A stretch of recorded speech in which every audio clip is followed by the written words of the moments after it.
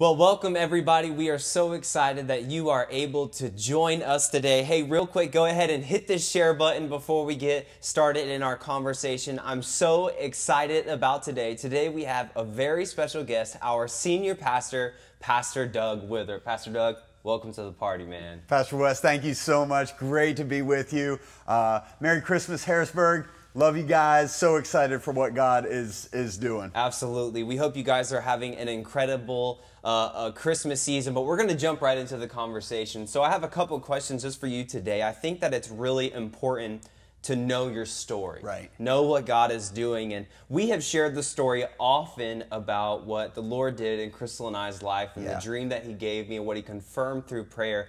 But what's amazing about this Harrisburg story is that there was more things going on than just in our life. So I want you to kind of tell uh, the Harrisburg story from your perspective, what the Lord laid in your heart and what you saw, you know, throughout that timeline. Yeah, and isn't that so cool? How like what God was doing on this side and what God was Right. doing on this side, and neither side knew about Right. it, and then it comes together. So I love I love the way that God works.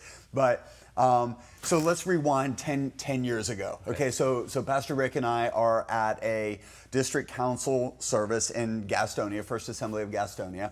Uh, Pastor Tommy Barnett is preaching that service, and Yeah. and he's preaching on the miracle of multiplication. Right. Interestingly enough, Yeah. right? 10 years ago, the miracle of multiplication.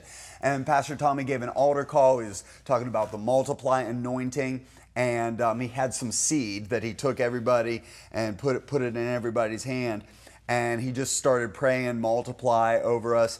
So I was over on the right hand side. Pastor Rick was there. And it was at that altar service uh, right after the service, Pastor Rick looks up and he looks across the room and sees pa- Pastor uh, Anthony Calvert Yeah. And felt the nudge of the Holy Spirit saying, "Hey, go go talk to that guy." And Rick was like, "No, I'm not going to do it. You got to make you got to make him come Right. to talk to me." So Pastor Rick, a little bit of stubbornness there, but um, before he knows it, Anthony's making a beeline right right. right across the room.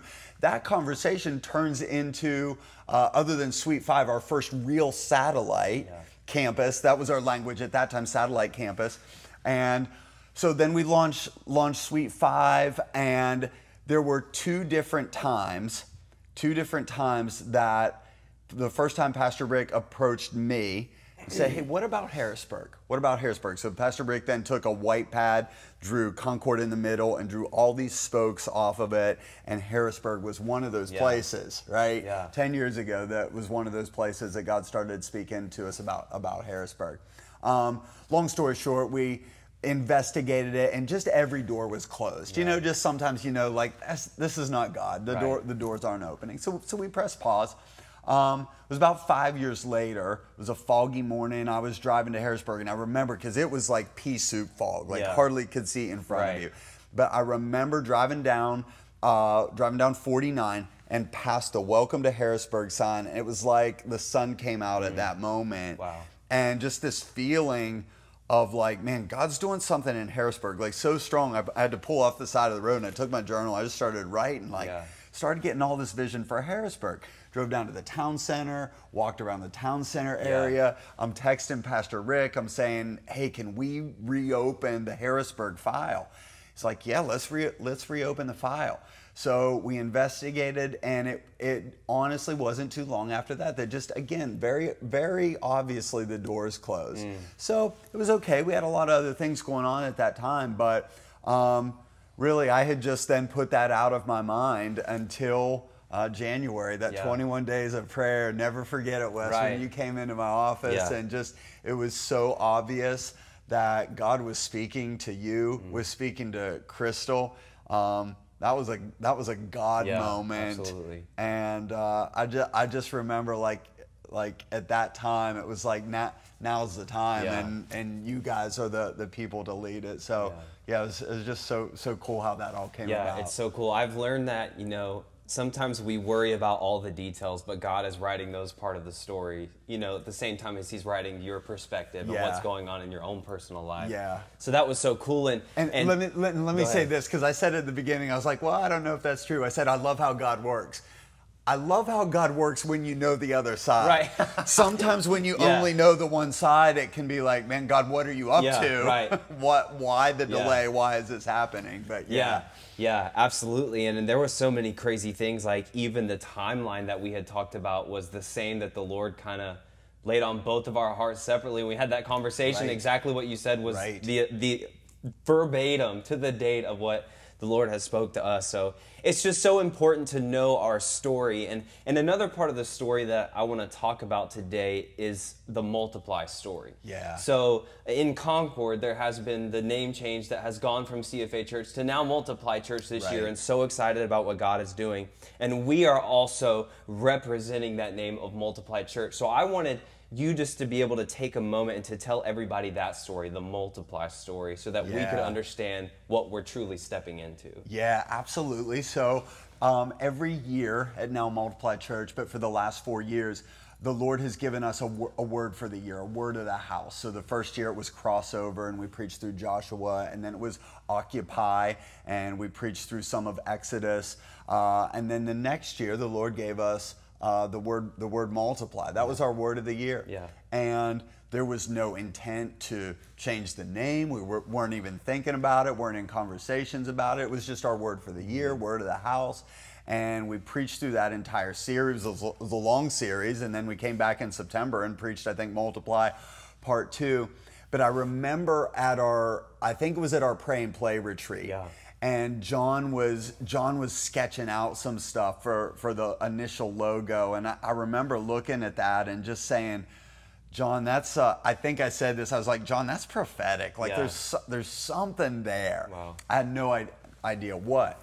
Um, so then let's let's rewind again. That was about two. That was about two years ago. Uh, hard to believe it was that long ago. That was about. Yeah. two years ago. About a year and a half ago, our team was. We do a sometimes we do a prophetic prayer exercise. Uh, we call it P3, so it's pray in the spirit, pray with understanding, and then pray in agreement. Um, and so the Lord had given us a prophetic word through that, uh, and one of the lines was, "I am commissioning a renewed." Antioch. And you know, when God speaks to you, that's an exciting moment. So we Mm. Yeah, were like all excited, like, oh, it's awesome, God's Yeah. speaking to us. And then it was kind of that moment of, but what does that mean? Right. And we're like, nobody knew, like, what Antioch, that's in the Bible, we Right. think. Yeah. So um, we just started really leaning into Antioch. Now, remember, this is all before the pandemic. Uh, so let me give you kind of church history 101. So in the book of Acts, when the church starts, it's in Jerusalem. Peter, Peter preaches the sermon. 3,000 people get saved. The church is growing. They have favor with God. The mm-hmm. community, everything is going really well. The only problem is the Great Commission was Jerusalem, mm. Judea, Samaria, and to the othermost Right. parts of the earth. Right. So everything was going so well Yeah. that they were becoming comfortable and they forgot about the rest of the promise. So mm. sometimes, uh, then what happens is Stephen is persecuted and the church scatters. Right? So persecution in our lives, and I would say God is doing this in 2020. Um, God doesn't cause persecution, but He'll use it Yeah. every single time. Amen. So it forces us out of our comfort zone right? Out of our comfort zone. Names are comfortable. I was comfortable with CFA. Right. Wes, you were born here. Yeah. You grew. You grew. I watched Yeah. you grow up Yeah. here. I've been here for 24 years. This is home. Camden Yeah. graduated school. Like this is all we've ever known. Yeah. Right. So we're very. cut. We love First Assembly. Yeah. We love CFA. Right. And so sometimes God will use persecution to say, I know you loved what was comfortable, but I have more people to reach. Mm. Wow. So God really started wrecking us about that. And so through the persecution, the church scatters, but as they scattered, they multiplied. Mm. Yeah, right. And they go to Judea, they Yeah. go to Samaria, and then they go to Antioch. And out of Antioch, Antioch plants 22 churches, and some of those churches plant churches. So Antioch plants Ephesus, Ephesus plants another five churches. Uh, Antioch, out of Antioch, Paul plants Philippi, and Philippi was the gateway to Europe. Right? What if it, what if that never would have happened? Most of us, or I shouldn't say most of us. That's that's not true. Um, some of us are of European descent Right. right? So our Christian faith is based on that. So anyway, God starts God starts doing all this and he's he's doing multiply and he's speaking to us multiply and then and then we run into the challenge of we just kind of outgrew our name. Right. Right. So when we planted at that time Davidson, Mm-hmm. um, CFA Davidson and, and Pastor Zach and Eric and different people Yeah. at Davidson would have Yeah. conversations with people and they're in the coffee Right. shop and oh we're part of, part of a church. What Yeah. church? CFA. You're part of Chick Fil A. Yeah. No, we're not. Although, Although that's not ba- that's not bad. Nothing to bad right. about that. I'm, I'm all in. Um, no, Concord First Assembly. Wait, you're part of Concord First Assembly. Yes. Well, why you, why are you Concord First Assembly, but you're in Davidson?